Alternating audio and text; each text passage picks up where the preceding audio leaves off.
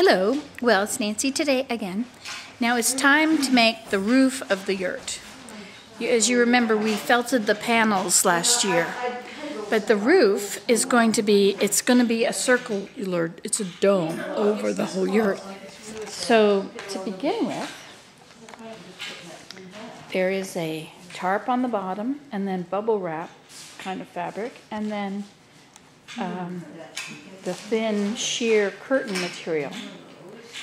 Then Anchor it has these three boards which are going to hook and eye together at the edges and then that is to hold the to hold it in place. This will be all of the um,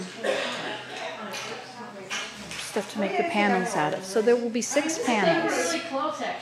And that is the beginning of it. So you laid down your batting, Yeah, three layers, is it? yeah. Now here comes the sun. So is the whole top going to look the same? Well, I think that's what we're, we're playing with the idea. I think it might be nice to have. That the sun will wasn't even shining? necessarily thinking of sun at the beginning, I was just thinking of a, you know, a decoration, like just kind of a, what do you call it, just rays coming out, not necessarily a sun, but whatever. Just And this won't be same- needle felted, I guess. No, Not at all. It'll just be.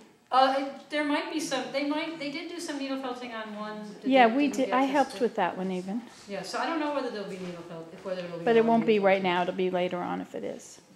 I mean, hopefully, after a bunch of stamping, it'll work.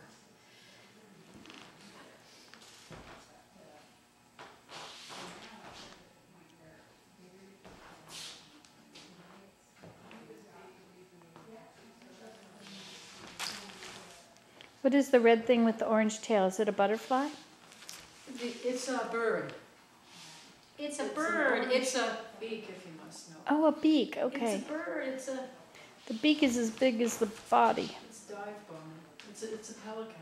It's a dive A red pelican. Of course. Why didn't I notice? I think didn't you I do some realize. spiky thing at the bottom, but maybe